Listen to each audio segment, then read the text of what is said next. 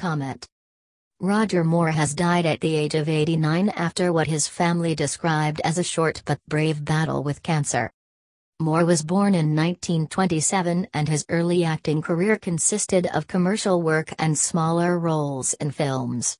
His star began to rise as the title role in the British TV version of Ivanhoe which ran for 28 episodes in 1958 to 1959.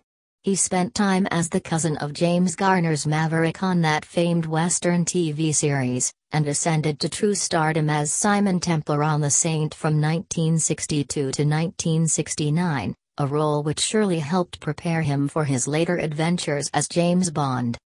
Moore took on the role with 1973's Live and Let Die, and would star in six more.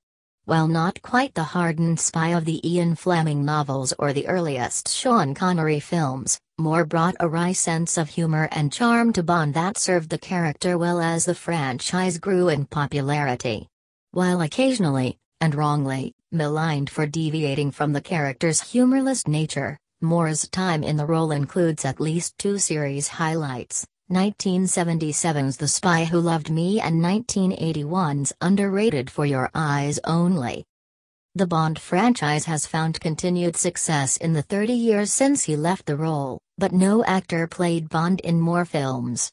Perhaps because of their constant rotation during the early days of HBO, there's an entire generation of fans who will always associate Bond with Roger Moore above all others.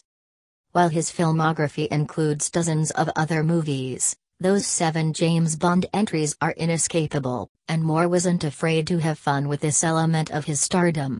His appearance in Hal Needham's 1981's farce The Cannonball Run as Seymour was just one example of this. Mr. Moore spent the last 25 years of his life as an ambassador for UNICEF. You can make a donation to UNICEF here. Here's the full announcement from Roger Moore's family. Roger Moore. James Bond. You are here. Home. Movies view image on Twitter. Follow.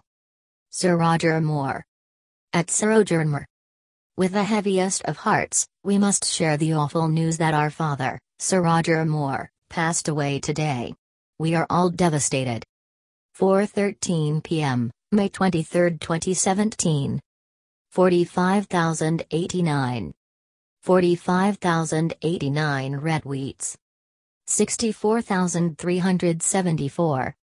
64,374 likes. Twitter ads info and privacy.